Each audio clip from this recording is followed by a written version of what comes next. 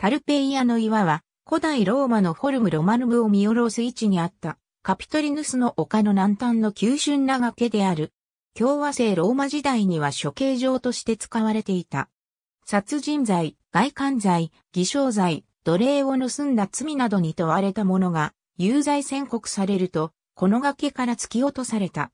精神や体に深刻な障害を負った者も神に呪われていると、みなされ、同じ運命をたどった。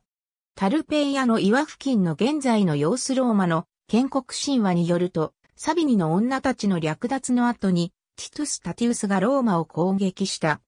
カピトリヌスの丘の要塞を仕切っていたスプリウス、タルペイウスの娘で、ウェスタの巫女だったタルペイアがローマを裏切り、サビニ人が腕につけているものをもらうことと引き換えに、サビニ人のために門を開けた。彼女は金の腕輪がもらえると思っていたが、サビニ人は盾を投げつけて、彼女を殺し、その遺体を崖から捨てた。このため、その崖をタルペイアの岩と呼ぶようになった。紀元前500年頃、第七大王、タルクイニウス・スペルブスがその岩の上部を削って平らにし、サビニ人が建てた神殿も取り払って、丘の二つの頂上の間のインターマンシアムと呼ばれる部分にユピテル・オプティムス・マキシムス、ユーノー、ミネルーア神殿を建てた。岩そのものはその後も残り、ルキウス・コルネリウス・スッラの時代にも処刑場として使われていた。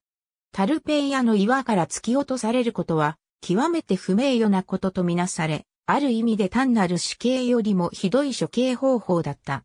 古代ローマでの標準的な死刑は、トゥッリアヌムでの窒息死だった。タルペイアの岩は、有名な反逆者の処刑や長方期的かつ、非公式な処刑の場所とされていた。例えば、ガイウス・マルキウス・コリオラヌスは、五民間に先導された民衆によって危うく、タルペイアの岩で処刑されそうになった。タルペイアの拷問を描いたデナリウスカ。紀元前89年。ありがとうございます。